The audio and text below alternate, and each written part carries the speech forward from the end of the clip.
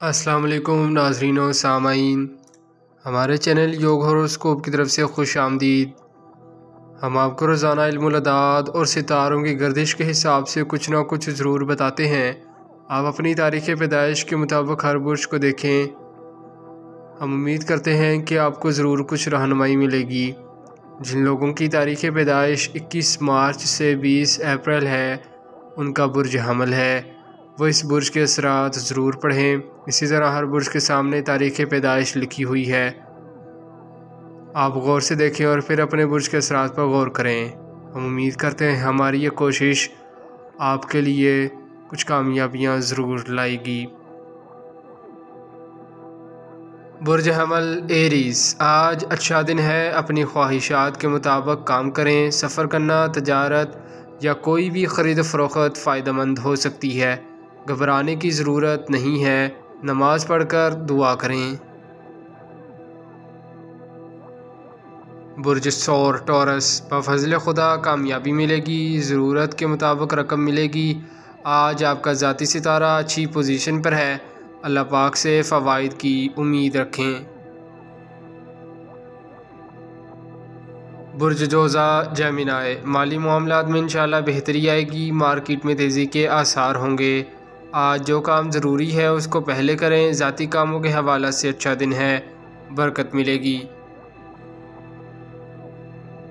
برج سرطان، کینسر، جس بات سے آپ پریشان ہیں، آج آپ کو مضبوط ہو کر کام کرنا ہوگا، مدد خود آپ کو حاصل رہے گی، کوئی خرابی انشاءاللہ نزدیک نہیں آئے گی۔ قانونی کاموں کے لیے اچھا دن ہے۔ برج اسد لیو وقت گزرتے دیر نہیں لگتی، مگر تیزی میں کوئی کام خراب ہو جائے تو بہت پرابلم آ جاتی ہے۔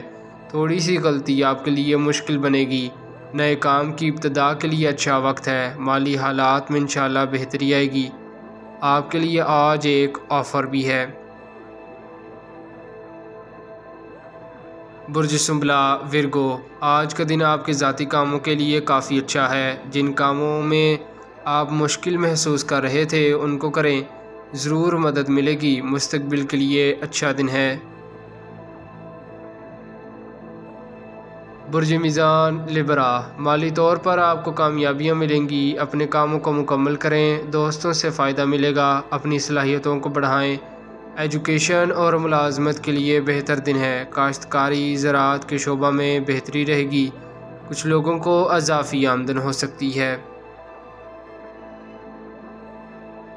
برج اکرب اسکورپیو ایک کاروباری دن آپ کے لیے بہت سی کامیابیاں ہیں۔ اگر کوئی سرکار کے ساتھ کسی ٹیکس یا دیگر کوئی جرمانہ وغیرہ ہے تو آج حل کرنے میں مدد ملے گی، ریلیف ملے گا۔ برج کو سیگیٹیریس، کاروباری اور تجارت پیشہ لوگ مالی فوائد حاصل کر سکیں گے، عام آدمی بھی کافی فوائد حاصل کر سکیں گے۔ سب کام حکمت عملی سے کریں، لڑکیوں میں جوش و جذبہ زیادہ ہوگا، ہر کام میں برکت ملے گی۔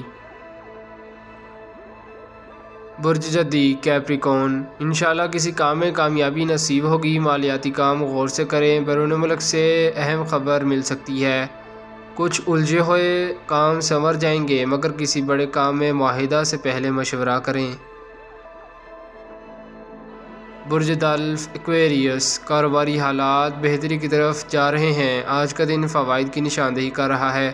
مگر کسی بھی قسم بڑی سرمایہ کاری آپ کی خواہش کے مطابق فائدہ نہ دے گی۔ آپ کا مالی ستارہ بہتر پوزیشن پر ہے۔ کوئی سابقہ رقم کی وصولی ہو سکتی ہے۔ برج ہود، پائسس، اپنے مالی حالات کو بہتر بنانے کے لیے کچھ اچھا ہو سکتا ہے۔ اگر بر وقت کوشش کریں بار بار تجربہ نہ کریں، ایک کام کو چن لیں۔ اللہ پاک کا نام لے کر محنت کرتے جائیں۔ شکریہ، اللہ حافظ۔